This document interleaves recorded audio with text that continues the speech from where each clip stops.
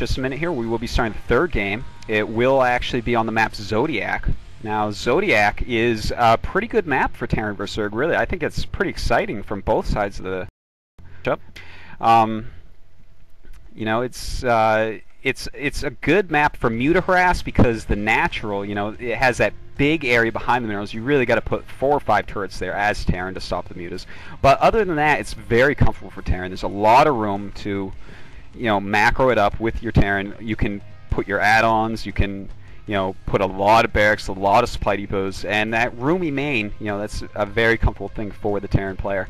And you know, the the middle expansions are really easy to tank. So I could see Brat winning it, but also it's a macro style map, pretty hard to eight racks on a map like this. So, you know, it, it could it could go to uh, Haypro as well. What what do you think, Vol? Yeah, I, I think there'll be a difference uh, between the two games, the last game and this game. Uh, the, the, the, point being is that last game, I think it was very much decided by Brat's decision to go uh, a quick medic marine push before command center, and, and that's actually unusual. It's it's a very much a uh, a risky strat to try and try and uh, take down the, the Sunkens, and he didn't quite manage it, and he was behind for the rest of the game. So I don't think he'll be doing that when everything's in the line for the final game. I, I agree with you. I think that uh, you're right on that, and this game, with so much on the line, should be really good. Do you think that yeah, both the players right. would um, would go for a more uh, more sort of conservative tactic now that they've kind of got a feel of the other player? You know, uh, I think that Brat is going to want to do something early because that game. I mean, the thing he did early was like a kind of safe and kind of wanting a win at the same time, and Haypro really outplayed him in the game. So he may not be wanting to see that longer macro game. Was there something that uh, the Terran player should have done differently, perhaps being more defensive in the beginning to uh, solidify his macro better? You know, it, it could be. So, uh, you know, he he went for that dropship before vessel, which slowed down his attack timing, and I think that really, with no, doing no damage, it really put him behind. Alright, enough with the speculations, let's see what's really gonna happen. Can get hit it.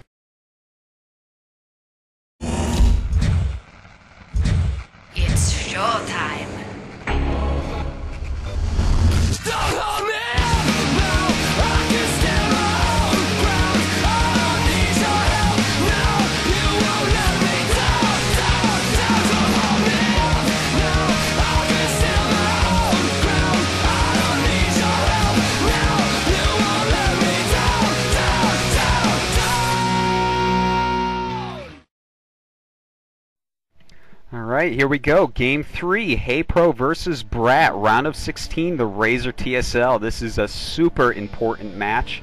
This is the most important game, of course. This will decide who moves on to the top uh, eight and who gets more money, more fame, the women, everything. I mean, this is really important. And we have Haypro starting out at 3 o'clock. We have Brat starting at 12. And you know what? Already I see uh, it's a little bit better for uh, Hey Pro here.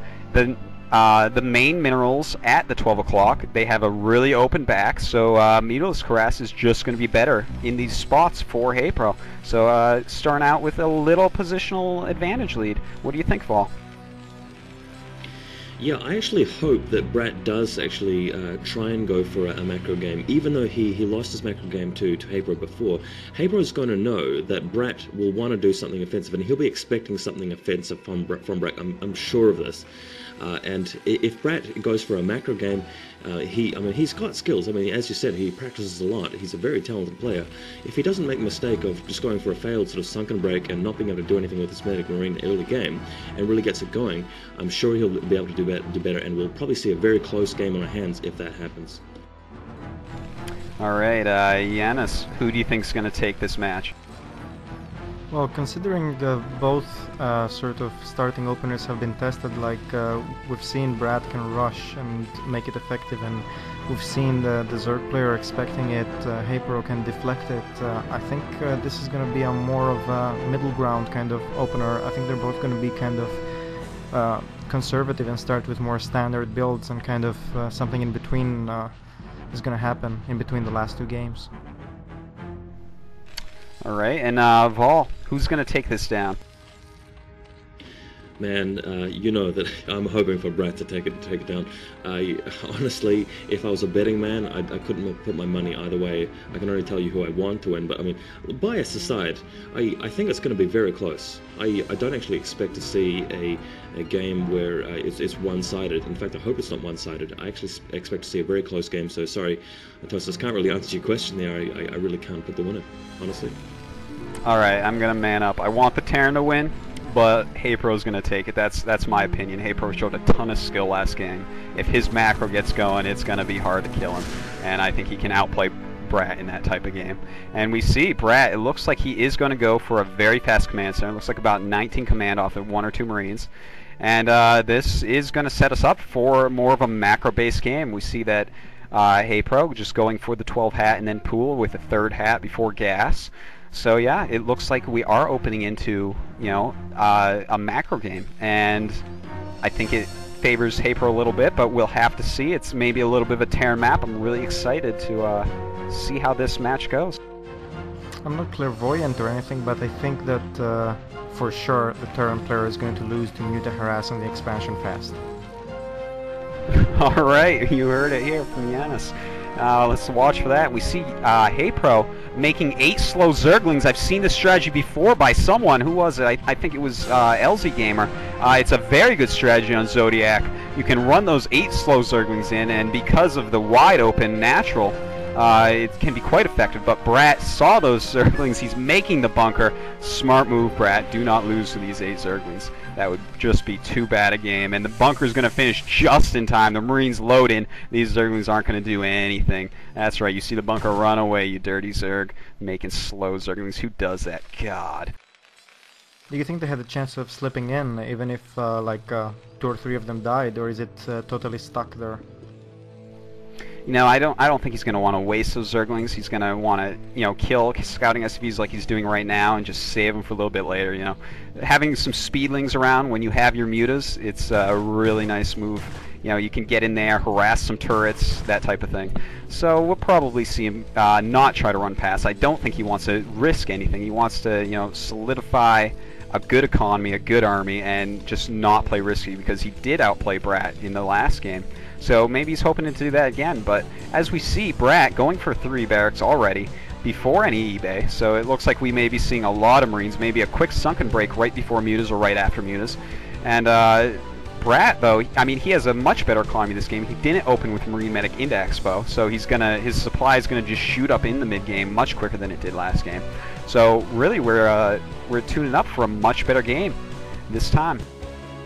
We see Stim researching already placed uh, perfectly for uh, the SCVs to um, uh, reach fa uh, faster at the refinery, and perhaps he's gonna try a little bit of uh, a little bit of the same uh, that we saw in the previous games to try and break the Zerg in the beginning if the Zerg's not prepared enough, and perhaps the Zerg player just tried to intimidate the Terran, showing him uh, like, "Hey, I got Zerglings, you can't come in here that fast."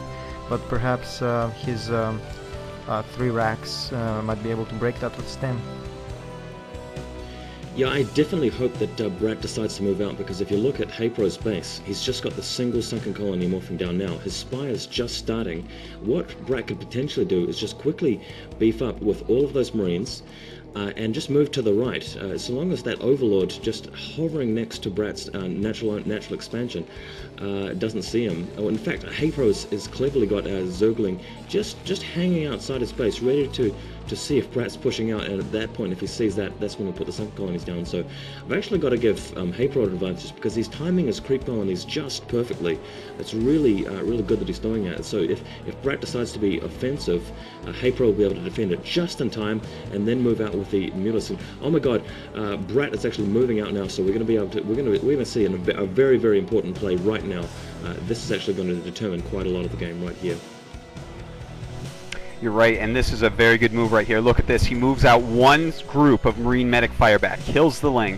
He keeps extra units behind. He's going to bring those up after he thinks the coast is clear. But look at this. Haypro, running by. It's not going to do anything. There's tons of units left at home. Two bats, about five Marines. It's absolutely nothing it can do. Trying to just pick off some units there. But uh, you know, is is Brat going to go for a sunken bust? I'm not too sure. It looks like he's uh, he's not. He's leaving some units at home. He's starting to turret up. Uh, it looks like he did miss a depot, so that is painful. A little bit late on his factory as well. Uh, will that come into play? I'm not too sure because Haypro right now he hasn't taken a third base yet, so Brat doesn't have to be too too aggressive. And the mutas are hatching. Plenty of turrets being made in Brat's main. He has four turrets going up. But the natural, oh yeah, he is putting SCVs behind the minerals at his natural to make uh, turrets as well. So that's going to really help him out because that is a hard natural to defend. And the mutas look like they are bunching up, getting ready to go over and attack into this main. And meanwhile, a lot of Zerglings dying. Oh my, that is that is painful for poor Haypro there. And uh, will he go down and try to pick off that group with his Muta? Uh, you know, I think he probably should because a group of Marine Medic walk around the map makes it very hard for Zerg to take a third base. And Zerg without a third base just goes runs out of steam in the mid game. But no, Haypro goes right into the main, starts attacking some depots, sees too many turrets and withdraws. Good move here by Haypro. We see an extra couple of turrets going down for safe measure while his army is outside. I guess uh, he just wants to uh, make a statement for the Zerg player that it, it's not going to be easy to get in now that I see you got mutas. Oh, and it looks like he is taking the island expansion. Haypro is, wow, on the right side of the map, he's taking that island. So he has upgraded the drops. That is a very interesting move. And look this, he's getting his uh, Queen's Nest right now. Looks like we're going to see a three-gas hive rush, a four-gas hive rush. Look at this, he's taking both islands. I'm getting chills. This is a really original, cool strategy we're seeing here by Haypro. I don't think I have ever seen a Zerg do this before, and I really, really like it uh, you know, Brat may not even realize that he has four gas, and as long as Haypro holds those sunkens, those four gas are just going to slap Brat around. You know, Brat has got to tech up right now. He's got his factory. He's got to get some vessels going. You know, maybe a dropship. Find out what's going on, because uh, you know a four gas Zerg is basically unstoppable. It's a little bit odd that he didn't attempt to even, um, you know, uh, make a check at the Sunkens. I know he scanned them and everything, but uh, don't you think if he bunched up all his army, he had a better chance before those two extra Sunkens were down? You know, uh, he definitely had a chance to test the Sunk and see if he could maybe break them. It's hard to say. If uh, has good Mutamicron comes in and slaughters your army, then uh, suddenly you lose instead of win. So Brat seems to be playing pretty safe. It looks like he's scouting around at the various land expansions looking around. But uh, still, I don't know if he knows yet about uh, taking those extra two gas. And we see the mutas in the top left of the map. We may be seeing something reminiscent of uh, Kumax vs. C, where you know you go for a very quick Guardians, and oh look at this, he knows exactly what's going on. He's making a Wraith out of the second Starport in the main, and there is a Greater Spire morphing with a Defiler mounted at the same time by Haypro. So Haypro is just going to have tons and tons of gas. And here comes the Muse. Oh my god, they make him cancel that uh, science facility, that hurts. A lot of gas loss on that cancel. And the Muse just running right through. Don't lose too many Muse here at Haypro. Uh, you know, if you do not have the Muse when that Greater Spire is done, that is that is going to be a waste of a lot of gas.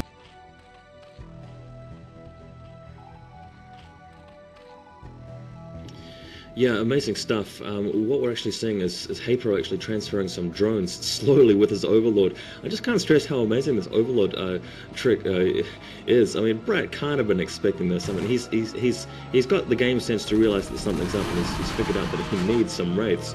But it's just really clever on on um, part, just um, saving up to use a strat like this, which isn't very common. Maybe he did see that game that Artosis mentioned. But uh, oh wow, it's, it's, it's going to be uh, tough to stop if if Haypro, if sorry, if Brat doesn't think of something to do in time. I don't think he's going to have enough wraiths ready to deal with this. I mean, he's going to have cloak, but uh, the thing is that the important thing is that uh, doesn't need Guardians to win this game. He's got the he's got the Hydralisk Den, he's got uh, the Defiler mount, and he's just going to be able to uh, hang around. And uh, there's there's not too much that Brat can do. I mean, he can he can use dropships, but Haypro is already ready uh, with Scourges to defend his expansion. He's going to have a Spore Colonies and Sunkens down, and oh my god, there's the Guardians morphing there. So it's going to be real trouble for uh, Brat's expansion. And he's loading up a dropship. So let's see how this dropship goes. Just leaving his natural now. Yes, we can see the Guardians are ready and they're gonna start shooting at uh, the, the turrets at the expansion. Uh, there's a, a good number of turrets and the two wraiths are certainly gonna delay the situation a little bit, but uh, he's already got Scourges, so that looks like uh, the, the Guardian situation is gonna be uh, fairly effective. Uh, however, I, would like to see the Terran player try to constantly uh, break the expansions in the main like we're seeing now with the drop in the main base trying to take down as many probes as possible and perhaps a hive. Yeah, this drop is really good. Brat is playing extremely well. Those cloak wraiths just destroy the guards. They do almost no damage. These marines come in, they kill a lot of stuff, and now drones attacking them under the Dark Swarm. Sorry, your drones don't hit anything under Dark Swarm. They are a ranged unit. And Brat with another dropship. Looks like he may be taking out the main here. This could be really painful for Haypro. Haypro extremely low in supply right now. He's got under 50. And that is it. Haypro gives up. Brat advances. GG. Wow. Wow, that was amazing. Dude, if I was in Boston right now, I'd be high-fiving you because that's a Terran going through to the round of eight. So excellent stuff. Wow. Simultaneous drop. That was just amazing. Yeah, and once again we see that uh, we would expect a kind of uh, the game to drag longer, but he got stopped right there. I think uh, the timing was crucial. I mean, he did the drop at the, at the, perfect timing before he lets the Zerg go loose with macro and before it's uh, too difficult for him to break any lurker contains or anything. You know, uh, Haypro, you know, I thought that his build was just beautiful and it was going to work out perfectly, but Brat just, he timed his drops well. He killed those Guardians very quickly with the Cloaked Wraiths, and I mean, there was really nothing Haypro could do from there. It was really good play, I think, by both players there.